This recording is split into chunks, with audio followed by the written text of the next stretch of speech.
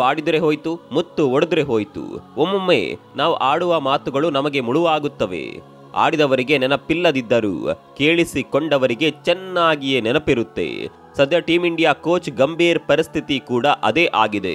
ಎರಡು ವರ್ಷದ ಹಿಂದೆ ಗಂಭೀರ್ ಆಡಿದ್ದ ಮಾತುಗಳು ಈಗ ಅವರಿಗೆ ಮುಳುವಾಗಿದೆ. ಎರಡು ವರ್ಷದ ಹಿಂದೆ ಹೇಳಿದ ಮಾತುಗಳು ಗಂಭೀರ್. ಈಗ ಮರತೆ ಹೋದಂತೆ ಕಾಣಿಸುತ್ತಿದೆ. ಯಾವಾಗಲೂ ಮಾತಿಗೆ ಬದ್ಧರಾಗಿ ಇರುತ್ತಿದ್ದ ಗಂಭೀರ್, ಕೋಚ್ ಆದ್ಮೇಲೆ ಹೇಳೋದೊಂದು, ಮಾಡೋದೊಂದು ಮಾಡ್ತಾ ಇದ್ದಾರಾ ಅನ್ನುವ ಅನುಮಾನಗಳು ಮೂಡಿದೆ.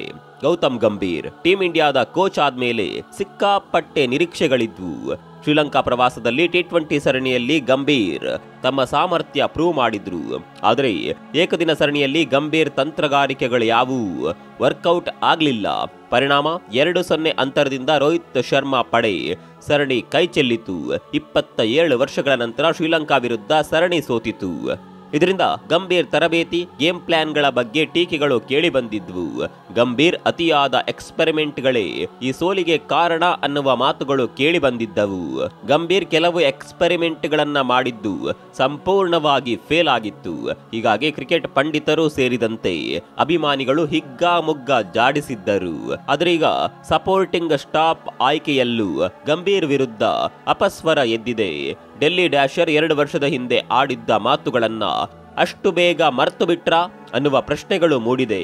ಅದಕ್ಕೆ ಕಾರಣ ದಕ್ಷಿಣ ಆಫ್ರಿಕಾದ ಮಾಜಿ ವೇಗಿ ಮೋರ್ನೆ ಮಾರ್ಕೆಲ್.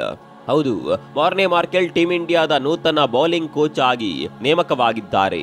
ಬಾಂಗ್ಲಾದೇಶದ ವಿರುದ್ಧದ ಸರಣಿ ವೇಳೆಗೆ ಮಾರ್ಕೆಲ್ ಟೀಂ ಇಂಡಿಯಾವನ್ನ ಸೇರಿಕೊಳ್ಳಲಿದ್ದಾರೆ. ಗಂಭೀರ್ ಮನವಿ ಮೇರೆಗೆ ಬಿಸಿಸಿಐ ಮಾರ್ಕೆಲ್ರನ್ನ ಬೌಲಿಂಗ್ ಕೋಚ್ ಆಗಿ ನೇಮಕ ಮಾಡಿದೆ. ಆದರೆ ಇದೇ ಗಂಭೀರ್ ಎರಡು ಸಾವಿರದ ಇಪ್ಪತ್ತ ಎರಡರಲ್ಲಿ ಫಾರಿನ್ ಕೋಚ್ಗಳ ವಿರುದ್ಧ ಮಾತನಾಡಿದ್ರು. ವಿದೇಶಿ ಕೋಚ್ಗಳು ಕೇವಲ ದುಡ್ಡು ಮಾಡಲು ಬರ್ತಾರೆ ಅಂತ ಹೇಳಿದ್ರು. ಅಲ್ಲದೆ ಭಾರತೀಯ ಕೋಚ್ಗಳ ಪರ ಬ್ಯಾಟ್ ಬೀಸಿದ್ರು. ಟೀಂ ಇಂಡಿಯಾಗೆ ವಿದೇಶಿ ಕೋಚ್ಗಳ ಅಗತ್ಯ ಇಲ್ಲ. ನಮ್ಮ ತಂಡವನ್ನ ಅವರು ನಾಶ ಮಾಡ್ತಾರೆ. ಭಾರತೀಯ ಕೋಚ್ಗಳಲ್ಲಿ ಯಾವ ಲೋಪವಿದೆ? ಅವರು ಮಾಡಿದ ತಪ್ಪೇನು? ಕ್ರೀಡೆಯಲ್ಲಿ ಎಮೋಷನ್ ಅಡಗಿದೆ. ಭಾರತೀಯ ಕ್ರಿಕೆಟ್ಗೆ ಭಾವನಾತ್ಮಕವಾಗಿ ಕನೆಕ್ಟ್ ಆಗಿರುವವರು, ಭಾರತೀಯ ಕ್ರಿಕೆಟ್ ತಂಡವನ್ನ ಪ್ರತಿನಿಧಿಸಿದವರು ಮಾತ್ರ ಟೀಂ ಇಂಡಿಯಾ ಕೋಚ್ ಆಗಬೇಕು ಅಂತ ಗಂಭೀರ್ ಹೇಳಿದ್ರು. ಆದರೆ ಅಂದು ವಿದೇಶಿ ಕೋಚ್ಗಳ ಬಗ್ಗೆ ಸಿಡಿದಿದ್ದವರೇ ಇಂದು ಅವರ ಪರ ನಿಂತಿದ್ದಾರೆ. ಮಾರ್ಕೆಲ್ ಅಷ್ಟೇ ಅಲ್ಲ, ಅಸಿಸ್ಟೆಂಟ್ ಕೋಚ್ ಆಗಿ ರಿಯಾನ್ಟೆನ್ ಡೋಸ್ಟೇಟ್ ಅವರ ನೇಮಕಕ್ಕೂ ಗಂಭೀರ್ ಕಾರಣವಾಗಿದ್ದಾರೆ. ವಿಶೇಷ ಅಂದ್ರೆ ಐಪಿಎಲ್ನಲ್ಲಿ ಇವರಿಬ್ರು ಗಂಭೀರ್ ಜೊತೆ ಕೆಲಸ ಮಾಡಿದ್ರು. ಗಂಭೀರ್ ಲಕ್ನೋ ಸೂಪರ್ ಜೈಂಟ್ಸ್ ತಂಡದ ಮೆಂಟರ್ ಆಗಿದ್ದಾಗ ಮಾರ್ಕೆಲ್ ಬೌಲಿಂಗ್ ಕೋಚ್ ಆಗಿದ್ರು. ಡೋಸ್ಟೇಟ್ ಕೋಲ್ಕತ್ತಾ ನೈಟ್ ರೈಡರ್ಸ್ ತಂಡದ ಫೀಲ್ಡಿಂಗ್ ಕೋಚ್ ಆಗಿದ್ರು.